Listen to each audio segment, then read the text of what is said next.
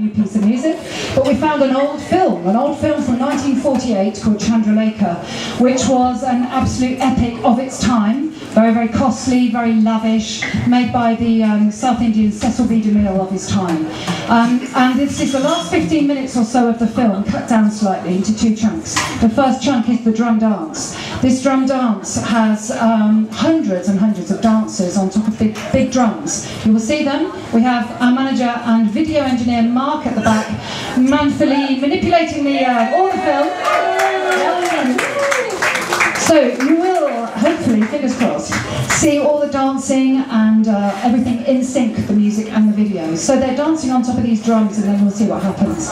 Um, Sarah's written this first part and in the second half, thinking Errol Flynn and sword fight and sort of classic chandelier and staircase fare, um, the sword fight music is what I have written for this piece. So this is an absolute original and um, check out the film because it's hilarious and particularly in, in my bit in the uh, sword dance, check out the guy's eyebrows. Here we go. Uh, starting with drum dance and then dance from Chandralekha.